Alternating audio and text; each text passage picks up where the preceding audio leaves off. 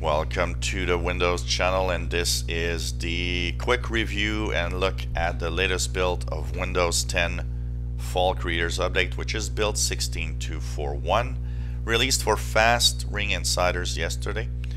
And uh, boy what an experience. First of all still extremely long process of install.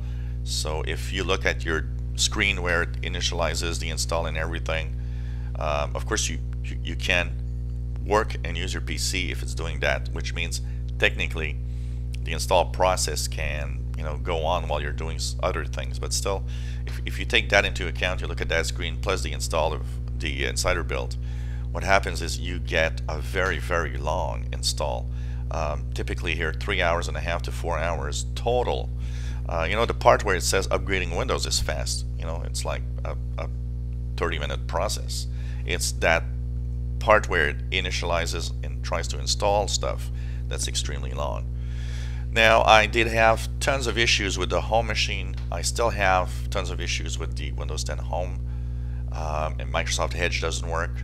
I had to restart manually two times during the install because it just hangs in there but it did go through so I'm wondering if I should not use the latest um, image of uh, 16232 in order to maybe do a clean install. Maybe it's required, maybe something's wrong. Uh, on the Pro machine, the one you have here, it seems to work quite well except for a few things that you know happened in other builds also and that you guys have seen like you know the start menu is totally transparent instead of being the usual look. Even the uh, feedback hub has that glitch. Uh, but that's something that happened in the past few builds also.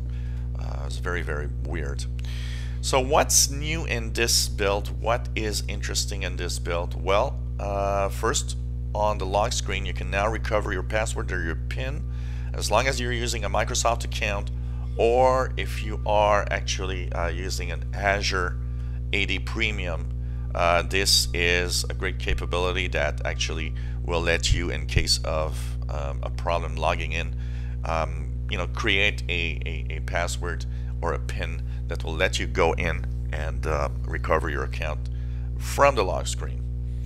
They've refined a little bit the acrylic look. The acrylic look and the Fluent design is that semi-transparent like um, feature. It was a little grainy um, when you actually used um, you know uh, more than 100% of um, screen size zooming. Uh, what happened is it looked very grainy and very very very weird. So they fixed that. They also fixed the fact that some people were finding that the transparencies were not necessarily that good all the time. So a few things like that that are fixed um, in the uh, Fluent design. Some gaming improvements. Xbox Live in-game experience um, was not working well. Now it does. Fixed also in issues where the game bar would crash. So that is fixed also. The task manager has two little improvements that are uh, worth mentioning. Now I don't have a, a, compatible GPU to show you, but it now actually um, will separate the GPU in four different uh, options. One for video processing, video decoding, um, one called copy, and the other one for 3D performance. So it actually gives you four uh, little panels that um, are visible if you have a compatible GPU.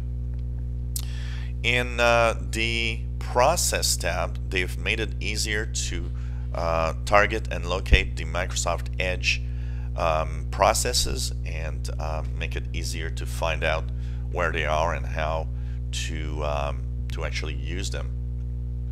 So basically, it's much easier uh, in in labeling and easier to find. So um, basically, making it better, especially when you know uh, you wanted to know the different options and the different ways that things are working. So here you have really separated processes that were not there before when you wanted to see the process from Microsoft Edge.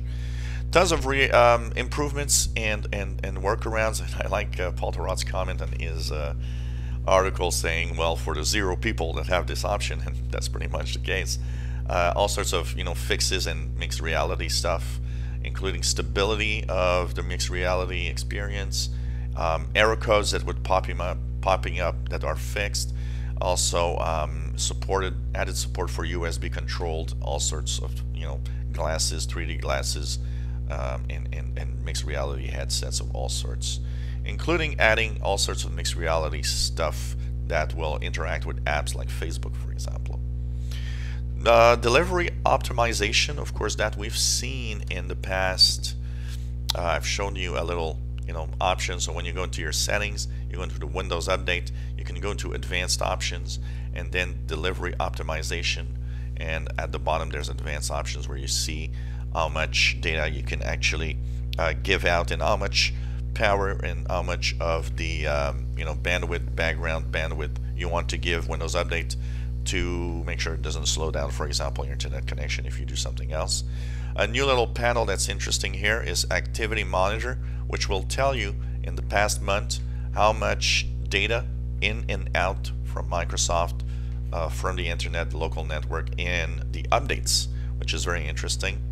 So um, all of that is now showing. So you'll know exactly how much your Windows updates are taking data in a month which is a very very welcome uh, information because a lot of people have limited bandwidths and want to know and monitor this for sure apart from that, uh, little thing that is um, the added Ubuntu bash command line available now in the Windows Store for sure.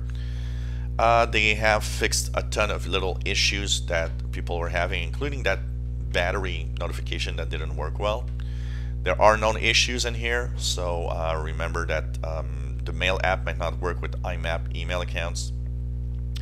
Some um, network uh, settings reset to zero. If you have a display higher than 100%, the output might not look right, and uh, all sorts of little things like that. Windows Defender Security Center might have some issues.